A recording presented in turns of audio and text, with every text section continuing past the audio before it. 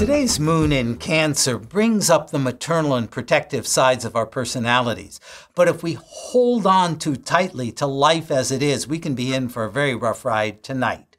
I'm Jeff Jawer. And for Planet Pulse on this Thursday, October 24th, I'm Rick Levine. I agree with you, Jeff. I think we have not only the moon in Cancer, but we have Jupiter in Cancer too. That Jupiter's doing its own dance. We'll get, well, that actually starts the day off. And in a way, because Jupiter starts the day off in an aspect with Mars, there is enthusiasm, there is an upbeat feeling, but it's in Cancer, and, and the moon is in Cancer, so we may not get to express our feelings, but they're big already and they get bigger as the day goes on. Yeah, active Mars in a 45 degree angle, an angle of some stress or tension with expansive Jupiter, is big energy. But not only, as you said, Rick, is Jupiter in the more protective sign of Cancer, but Mars is in the discreet and cautious sign of Virgo. Virgo, sure. So it's a very interesting, just on a pure planet level, it's like push, push. But when we include the meaning of the signs, it's like push, push by very well behaved religious people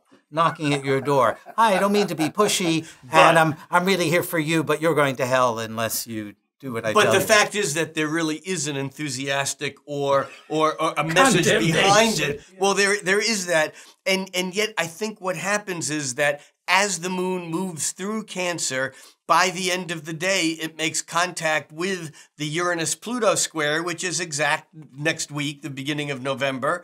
But it's so close already that the moon in Cancer kind of it bumps into the anger and the resentment of like if you got something to say damn it why don't you just say it instead of keeping it to yourself and making me have to dig it out of you? Or maybe it's my stuff that i don't want to express and i'm feeling like you're pushing and trying to dig it out of. There's something that's going on that that develops up into a feeling of dissatisfaction that really can push my feelings over the edge.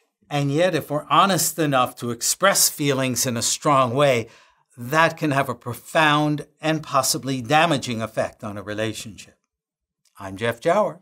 and for planet pulse i'm rick levine